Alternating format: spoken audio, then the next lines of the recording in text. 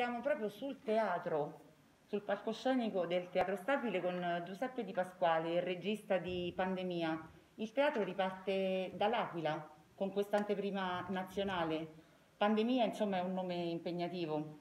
Sì, eh, riparte appunto per merito di un teatro importante come il Teatro Stabile d'Abruzzo e eh, che presenta in prima nazionale questo Pandemia che è una eh, scrittura sul tema che abbiamo vissuto in quest'anno e mezzo con molta naturalmente fatica, però come avviene sempre per il teatro eh, il, c'è un, un gioco, un gioco irridente, un gioco ironico, un gioco anche comico cinicamente e crudelmente comico sui meccanismi che eh, una coppia, una coppia particolare, una coppia singolare che appunto interpretata da eh, Ninni Bruschetta e Federica De Benedittis, eh, vive in una sorta di eh, luogo senza tempo, perché eh, tutto parte da un probabile 1920 e arriva ai nostri giorni e ogni scena è una sorta di declinazione di come questa pandemia eh, si è avventata sulle persone, sul, sugli uomini. E, non è detto che questo sia un, dire, uno spaccato tragico e triste, perché quello che abbiamo subito noi anche quest'anno è un po' un meccanismo strano, un meccanismo che ci ha fatto separare, ci ha fatto eh, emergere le crisi più profonde, oppure anche gli amori più profondi. Quindi questo raccontiamo, raccontiamo quello che la pandemia, l'epidemia ha comportato per gli uomini e lo facciamo con, con molto divertimento, si ride, si, si, si riflette sul tema, eh, si piange anche, quindi eh, il teatro riesce sempre a dare uno specchio di quello che noi siamo e per fortuna ancora il teatro esiste. Lei come ha vissuto invece la pandemia?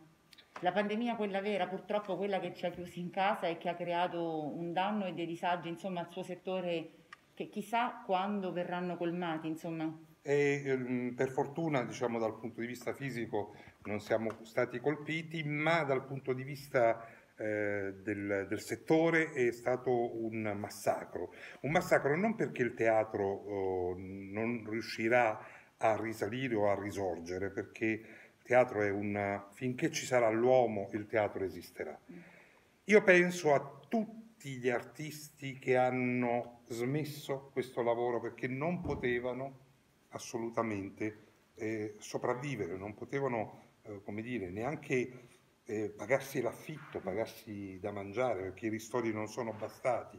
Ci sono decine e decine, se non centinaia di attori che hanno smesso di lavorare un anno e mezzo fa. E questo è stato terribile, questo è stato incredibile, come penso anche ai teatri privati, che non, alcuni non ce la faranno proprio a, a risalire. Che poi il teatro è un indotto, oltre agli attori, costumisti, truccatori, eh, gli scenografi, i registi, i macchinisti, insomma è un carrozzone. Io, dico, io l'ho, l'ho, definita un'impresa, un'impresa, è una vera e propria impresa gigante, gigantesca, enorme, immensa dove praticamente, ecco, come diceva lei, ci sono state già le prime vittime. Ci sono state le prime vittime, 250.000 lavoratori dello spettacolo, non so quanti ne conteremo dopo questa guerra, perché di guerra si tratta, mm. non ci sono stati bombardamenti, ma di guerra si tratta. E, e l'indotto colpisce anche le filiere del settore, che sono appunto, eh, come si diceva, non so, le sartorie, le falegnamerie, ma anche i ristoranti che già di loro erano chiusi e che comunque anche con noi lavorano. Insomma, è una catastrofe. Certo, la speranza è quella che anche raccontiamo in questo testo, in questo spettacolo, la speranza di, eh, è sempre una, un, una fiamma che continua ad ardere, a bruciare e che non si spegne mai. Nel teatro questa fiamma è sempre viva e quindi basta riaccenderla come stiamo cercando di fare noi adesso e siamo certi che contagerà di nuovo tutti. Ha visto l'Aquila? Ha fatto una passeggiata? Oh, più che una passeggiata, l'ho girata, mi sono goduto eh, naturalmente le meraviglie di questa città che eh, è stata ricostruita e si sta ricostruendo nella sua totalità e estasiato una città così bella, così ricca di arte, di storia di cultura e fa piacere non solo lavorare a teatro, ma lavorare a teatro all'Aquila. Se ti senti confortato, è come se stessi in una culla che ti, dire, ti, ti protegge. Ecco, questo, di questo siamo molto contenti. Grazie, anche perché è bello anche questa cosa che ci sia questa anteprima dall'Aquila, che è una città che sono 12 anni, insomma, a prescindere dal Covid, sta cercando di andare avanti e il teatro, la cultura è uno dei veicoli migliori probabilmente. Lo è e lo sarà sempre. Grazie tante. A voi. Il teatro riparte all'Aquila con uno spettacolo dal nome impegnativo, Pandemia. Che non è, diciamo, è un titolo eh, nuovo uh, messo dal, dal, dall'autore che è il nostro regista, che è Giuseppe Di Pasquale, che lo ha, diciamo, che si è ispirato a un grande testo di Ionesco che parla di una pandemia, però di una pandemia molto molto molto particolare e essendo diciamo, un, proveniente dal pensiero di uno dei geni della, del teatro del Novecento, è profetico come sono tutti i grandi pensatori diciamo, che hanno una geometria nel, nel, loro pensiero che li fa vedere oltre. Certo se eh, non ci fosse stata questa, questa pandemia, eh, forse questo testo sarebbe stato difficile da capire. Invece noi lo mettiamo in scena con eh, un adattamento bellissimo fatto a due personaggi, un testo invece pieno di personaggi e diventa quindi anche un discorso sul teatro, che noi interpretiamo tante coppie di uomini e donne che si trovano dentro a, a una situazione eh, diciamo di, di, di disagio creata proprio dalla claustrofobia dello spazio, esattamente quello che tutti quanti noi abbiamo vissuto. Il teatro, Federica, ha vissuto una crisi imponente, probabilmente ci vorranno anni per riprendersi. Com'è stato questo, questo anno? Perché alla fine è stato è stato molto difficile per tutti sicuramente, ma insomma, noi non vedevamo l'ora di ripartire, ci è sembrato mm, già miracoloso il fatto di poter debuttare adesso a maggio e non vediamo l'ora di ripartire con la stagione prossima eh, in giro per l'Italia, insomma. Pochi giorni fa ho letto una sua intervista, diceva il teatro è vita e deve rinascere. Come può il teatro rinascere appunto dopo una crisi così imponente, un buco, mi permetto di dire, insomma?